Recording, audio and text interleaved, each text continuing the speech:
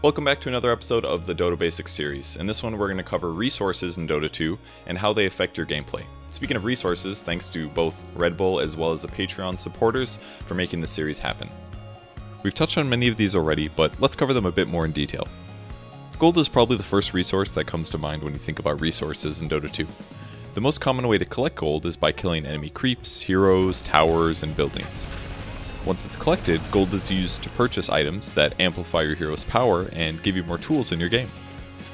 In that way, having more gold than your opponents means more items, which means you will be stronger than your opponents when you end up fighting them. The biggest gold bonuses you'll get is from killing enemy heroes. If you're the one that lands a killing blow on an enemy hero, you get awarded with the kill bounty and the most gold. That doesn't mean you should always try to snag the kill though, as nearby heroes who don't get the kill still get some gold reward as well. Another way to collect gold is when enemy towers, barracks, or shrines are destroyed. These bounties get rewarded to your entire team, so pushing down towers with your allies can give you a strong advantage against the enemy. The same principle applies to Roshan. If your team slays him, everyone on your team gets a bonus. Just keep in mind that the player who lands the last hit on the enemy towers, barracks, or Roshan also get a handy gold bonus for the last hit. And surely make sure someone on your team destroys the tower at least, because if your opponents deny or destroy their extremely weakened tower, your team gets way less gold. If you want a way to collect gold that is a bit more danger free, you can focus more on killing either enemy or neutral creeps. For creeps, it's mandatory that you land the killing blow called getting a last hit. Another big way to gain gold is by just being in the game. Every hero gains a trickle of gold over time that really adds up, especially if your hero has talents that increase your passive gold gain over time. Another great way to gain gold is by stacking bounty runes on the map. They spawn in a bunch of different spots and they provide a nice gold boost if you take the time to grab them. There's also a few heroes in Dota 2 that have gold granting abilities. Alchemist Greevil's Greed gives him bonus gold for every creep that he kills, and Bounty Hunter's Track gives you and your team more gold whenever you kill a tracked opponent. You could also purchase the item Hand of Midas, which will occasionally turn an enemy creep into gold for you. And past that, you could always increase your gold by selling your items to any of the shopkeepers, but they only buy the items for half price, so it's generally not worth it unless you don't have space for the item anymore. So to quickly cover the difference between reliable gold and unreliable gold, reliable gold is gained in ways that are difficult. For example, hero kills, courier kills, towers, Roshan, or using your Hand of Midas item. Now, when your hero is killed in Dota, you lose a chunk of gold. However, reliable gold can't be lost in this way. It can only be spent by you, so reliable gold encourages you to do something risky to collect it because you won't lose it if you're killed right after collecting it. Unreliable gold is easier to attain but isn't protected on your hero like reliable gold, so it can be lost when you die. Unreliable gold is gained from lane creeps, neutral creeps, sold items, and the trickle gold that you gain over time. Keep in mind that unreliable gold is spent first when buying items, so it's a great idea to buy an item before you die. For example, if I have 1000 reliable gold and 500 unreliable, and I know that I'm about to die, I can quickly purchase my Gloves of Haste so that I only have reliable gold left over, and then I protect my gold. On to the next resource in Dota 2, which is experience. Experience is primarily gained when an enemy creep or hero dies nearby your hero.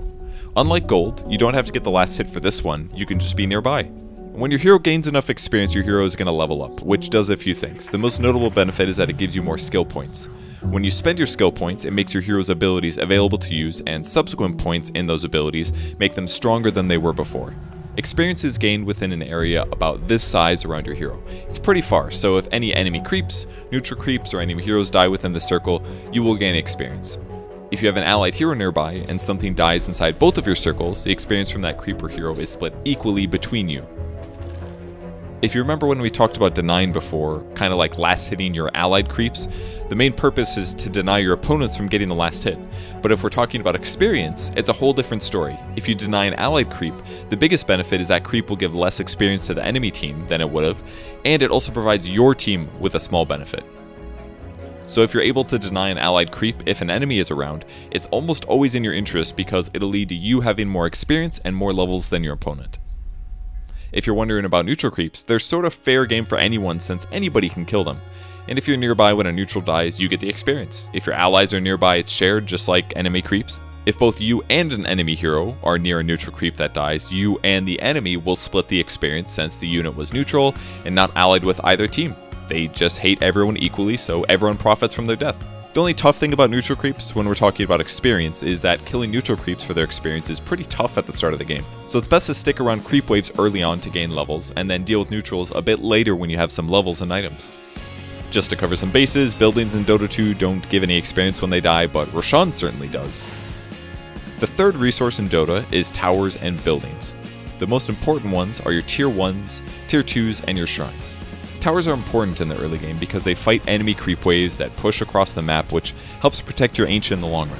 Your opponents can't destroy the throne without going through these towers first, so towers give you that basic advantage. It helps you win. So one reason towers are such an important resource is because they limit where the enemy team can move without being spotted.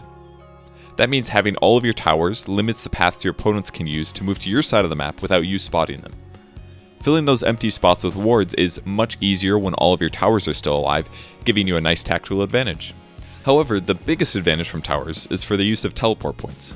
Since your tier 1 towers are closest to the enemy base, having more tier 1s means defending allies that are in trouble quicker, and crossing the map more rapidly to get to the enemy side of the map. If you have more towers up than your opponents, you have more flexibility to move rapidly around the map. Losing your towers removes these teleport points from the map, which makes it harder to spread out from your team, and slower for you to react. And that's the main reason it's important to defend your towers, even if the gold advantage might seem more important.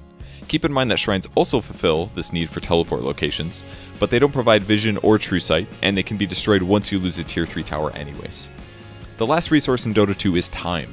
Very few heroes can be in multiple spots at the same time, so how you choose to spend your hero's time changes how the game plays out. Most players in the moment feel like they're being efficient with their hero's time, but it's very easy to make mistakes and be forgetful. A simple example would be driving the long way to the store because you didn't realize there was a shortcut.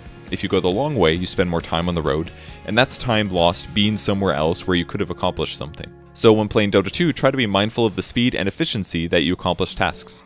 If you're trying to collect gold as fast as possible by killing enemy neutral creeps, then it'll help if you increase your hero's damage and attack speed.